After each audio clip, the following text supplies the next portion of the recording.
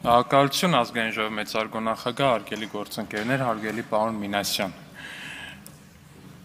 Ձեր ուղերձին մենք միանալու ոչ ցանկություն ունենք,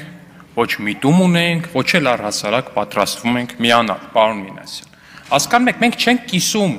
այն մոտեցումը, որը դուք ունեք։ Դուք 2021 թվականից, դեռ 20 թվականից, դեռ դրա երևի 19 թվականից ասում եք Նիկոլ Փաշինյանը պիտի հրաժարական տա, կառավարությունը պիտի հեռանա։ Մենք ասում ենք, մենք այդ օրակարգը չենք կիսում։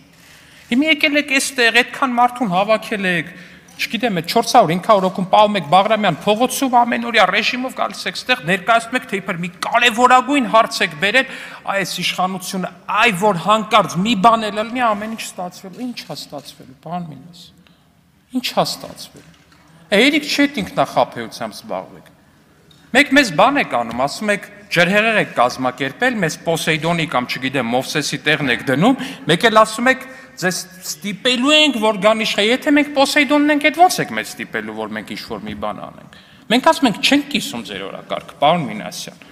Չենք կիսում եւ չենք կիսելու, պարոն Մինասյան։ Ես չգիտեմ հիմա խնդիրը ո՞րն է, բայց առհասարակ ես ես մի կոչ ունեմ որպես այդպեսի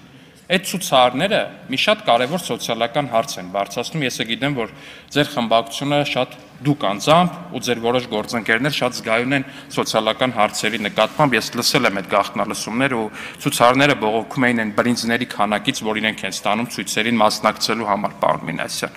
Մեկը մասնավորապես ասում էր մարդը 5 բրինձ են տալիս մի օրվա մեջ։ Պարոն Մինասյան, վերանայեք դա,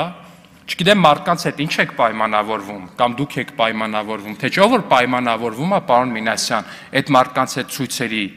գնալու գնի հետ կապված։ Այդ պարտավորությունները նորմալ կատարեք։ Ամեն դեպքում էդ էլա տղամարդկային, մարդկային հասարակ մոտեցում, էլի։ Մարդու հետ բան եք պայմանավորվել, ինչքան բրինձ որ ասել եք մի ցույցի համար կտակ, այդքան էլ տվեք։ Շնորհակալ